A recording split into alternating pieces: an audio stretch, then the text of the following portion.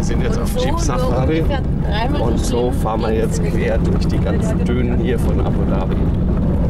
Wir sind 35 Jeeps, sind alle vom Schiff abgeholt worden und haben jetzt richtig Fun.